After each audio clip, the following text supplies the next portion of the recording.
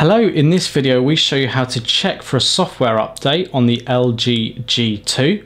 Now there's two ways of doing this, both uh, get you through to the same screens and setup. The standard way of doing this is to scroll down from the top with your notification bar, click the settings icon, scroll through to the general tab within settings, and then scroll through the list until you get to about phone. Tap the About Phone menu and you'll see an option for Update Center. Tap that. You'll then be taken to LG's Update Center where you can uh, update either apps or software.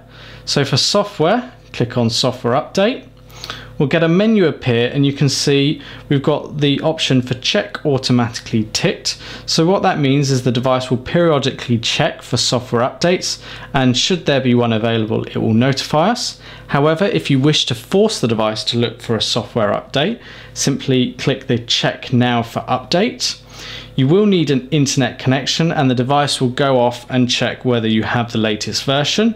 As we do here, it's telling us we have the latest version.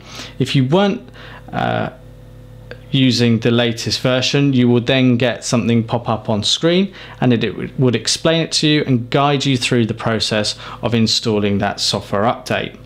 So that's the primary way to get to it. The other way, because LG have included a shortcut within the apps tray is go into your apps tray, scroll through the list. Now your configuration may differ slightly, but you're looking for Update Center, tap Update Center, and you're now presented with the exact same screens as you were when you went through the settings menu. And that's how you look for an update on the LG G2.